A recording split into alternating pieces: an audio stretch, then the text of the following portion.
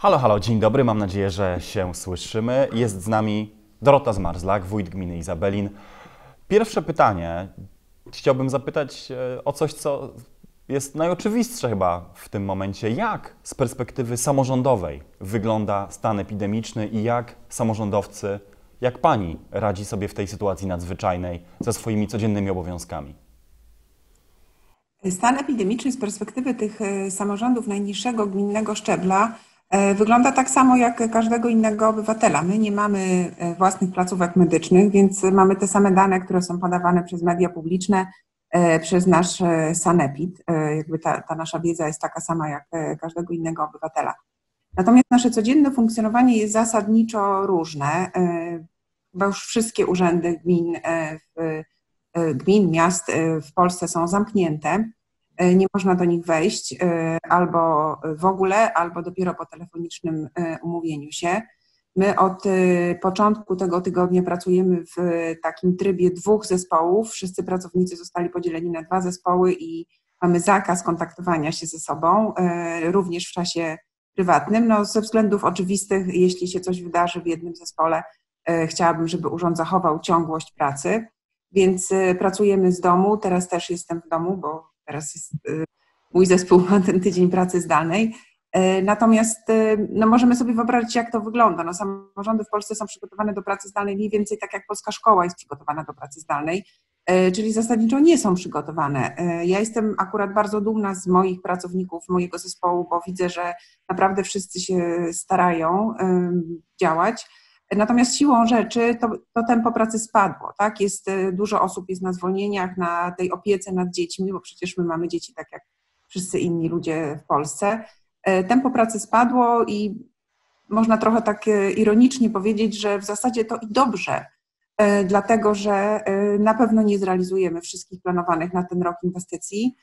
To jest moment na przycinanie kosztów, rewizję planów, rewizję budżetów. Więc y, tak, no można powiedzieć, że ten, to wolniejsze tempo pracy jest wskazane. To jest oczywiście ironia, dlatego że życie w ogóle nie zwolniło. Y, wszyscy wiemy, w jakim tempie powstaje teraz y, usta ustawodawstwo w Polsce. No, nocne rozporządzenia jedno goni drugie. To dotyka również samorządów. My to wszystko musimy śledzić, wdrażać, więc no, nie jest łatwo oczywiście, ale dajemy radę nie ma wyjścia. E, e, słuchaj, jesteśmy po imieniu, więc nie będę udawał, że inaczej muszę się do Ciebie zwracać, e, ale te regulacje, o których mówisz, wydawane w nocy często, bardzo głęboko czasami ingerują w to, czym się zajmują samorządy. No, w dużych miastach to jest komunikacja miejska, to są, to są różne spółki komunalne. U Ciebie jest straż gminna czy straż pożarna, u Ciebie jest jednak placówka podstawowej opieki zdrowotnej. Czy te regulacje też to ingerują i to jest tak, że na przykład musisz wyłączyć pewne zasoby do dyspozycji przez jakieś władze centralne? Czy powiem tak, ja za bardzo nie mam zasobów, żeby je wyłączyć. Tak? Ja nie mam straży y, gminnej, mam y, moją y, przychodnię zdrowia. Jeśli cokolwiek muszę zrobić, że tak powiem, w terenie, na prośbę czy też polecenie wojewody, na przykład, nie wiem, wspomóc Kampinoski Park Narodowy w pilnowaniu wejść do parku w weekendy, Jedyne, co mam, to mam ochotnicze straże pożarne, e, które e, mogę o to poprosić i oni rzeczywiście są świetni i tym wspomagają. I takich samorządów jak ja e, jest w Polsce całe mnóstwo. Tak, to Izabelin tutaj nie jest wyjątkiem, więc my po prostu sobie radzimy, musimy sobie radzić własnymi siłami. Czy to teraz mnóstwo samorządów, jak wiecie, dystrybuuje do mieszkańców różnego rodzaju środki, czy to maseczki, czy płyny dezynfekujące My nie mamy żadnych ekip, żeby to zrobić, tak? Robią to pracownicy urzędów, pracownicy spółek komunalnych, bardzo często sołtysi e, z radami sołeckimi i właśnie strażacy. Jasne, ale też chciałem się dopytać o to, no to wszystko wymaga środków, prawda? Czy te środki są y, z jakiejś centralnej dyspozycji, czy te środki to są własne zasoby gminy? A jeszcze chciałbym dopytać o jeszcze o jedną okoliczność. No, no, niewątpliwie mamy do czynienia ze spowolnieniem gospodarczym, prawda? Ileś zakładów pracy nie funkcjonuje, nie funkcjonują restauracje, nie funkcjonują punkty usługowe. Czy to też oznacza, że nie tylko, że być może są dodatkowe obciążenia dla budżetu gminy, ale również y, są, spadają przychody, prawda? Od podatku dochodowego, być może od podatku gruntowego. Jak, jak to będzie? Jak, jak, jak to się może odbić na, na sytuacji organizacyjnej i finansowej gminy? No, odbije się fatalnie, e, ponieważ w samorządach finanse, w ogóle finanse stoją coraz gorzej. E, jak wiecie, w ubiegłym roku zmieniono nam jakby dochody w trakcie trwania roku budżetowego. Obecny spadek dochodów przewidywany to jest między 10 a 30%. E, u mnie w gminie akurat nie mam e, zbyt wielkich przychodów z CIT-u. Moje główne źródło przychodu to jest PIT, ale przecież moim mieszkańcom spadają dochody w tej chwili już, tak? Więc, więc wszystkie samorządy czeka, czeka spadek, spadek dochodów. Tak jak mówię, oczekujemy, że to będzie między 10 a 30%, a sytuacja finansowa e, samorządów już e, jest zła. E, więc no nie wiem, w zasadzie około 1700 samorządów w Polsce w tej chwili już nie ma nadwyżki, tak zwanej nadwyżki operacyjnej, nie ma z czego robić inwestycji. No w zasadzie niedługo będziemy już tylko wypłacali pensje nauczycielom. A, powiedz jeszcze, jeszcze, przepraszam, jedno tylko krótkie pytanie. A 30% budżetu to co to znaczy? To znaczy, że co, trzeba zamknąć szkołę, czy przychodnie, czy, czy bo, żeby nasi widzowie wiedzieli, co, co to znaczy w, w kosztach, tak? Że... To zależy od gminy. E, zaliczam, moja gmina się zalicza jeszcze do tych e, szczęśliwych, tak zwanych bogatych gmin. E, my mamy nadwyżkę operacyjną, więc w przypadku naszej gminy będą to cięcia inwestycji. Natomiast w gminach, w której tej nadwyżki operacyjnej nie ma, albo jest jej na przykład 20 tysięcy, to ja szczerze mówiąc nie wiem, co ten wójt ma zrobić dokładnie tak, jak mówisz. Czy ma nie wypłacić pensji nauczycielom, swoim własnym urzędnikom, czy nie wiem, przestać, no akurat zamiatać ulic może nie, zamiatania ulic może nie robić.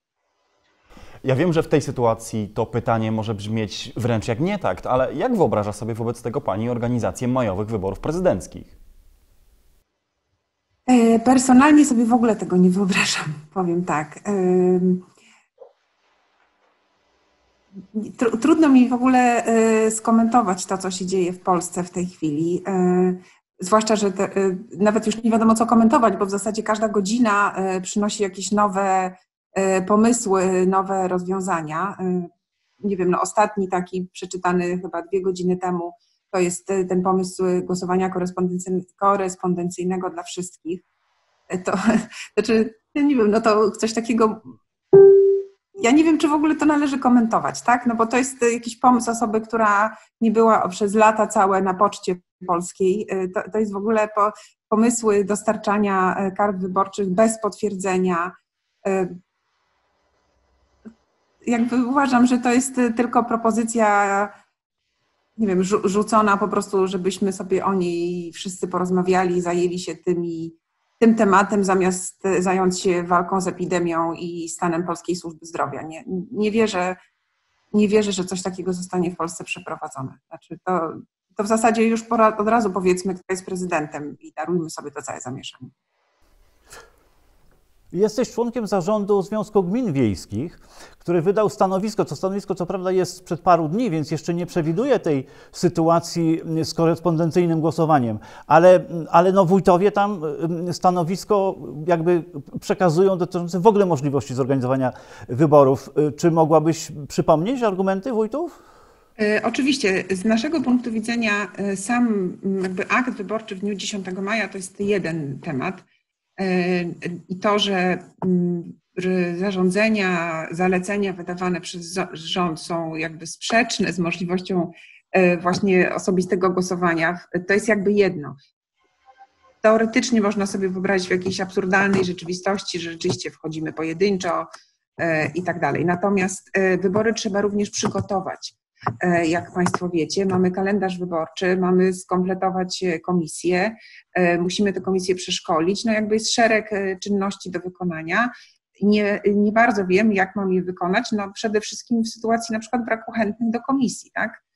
Natomiast inna propozycja, która się pojawiła w międzyczasie, czyli taka, że w komisjach będą, zasiądą żo żołnierze Wojsk Obrony Terytorialnej, no to jest jakaś jakieś e, kolejne kuriozum, które wydaje mi się nie nadaje się do żadnego komentowania. No ale nie, nie boisz się komisarza? Jeżeli nie uda ci się zorganizować wyborów, to może ktoś stwierdzi, że to jest twoja zła wola i na przykład ktoś będzie miał pomysł, żeby wyznaczyć na twoje miejsce komisarza. Nie boisz się tego?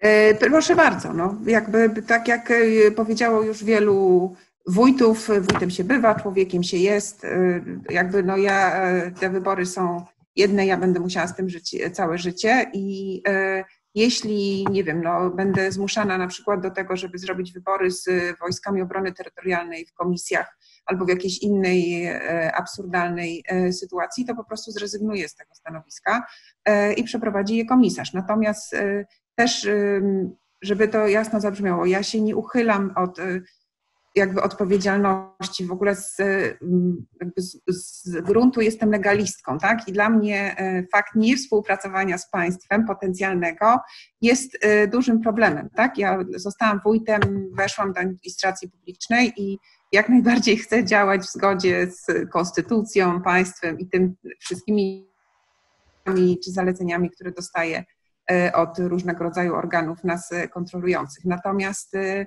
więc e, jakby e, na pewno jeśli będę tego zmuszona, rezygnację złożę w ostatniej chwili. To się mówi, kapitan schodzi ze statku ostatni, więc e, będę współpracowała z e, państwem tak długo, jak mi na to własny,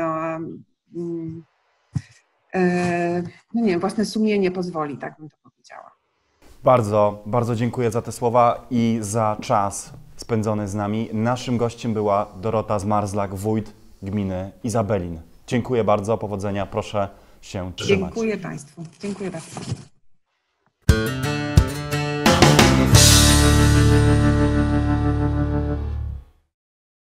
Znaczy powiem szczerze, na obecną chwilę y, sposób y, uzyskania jakiejkolwiek pomocy uważam, że to na, na obecną chwilę to co- coś takiego nie istnieje według mnie.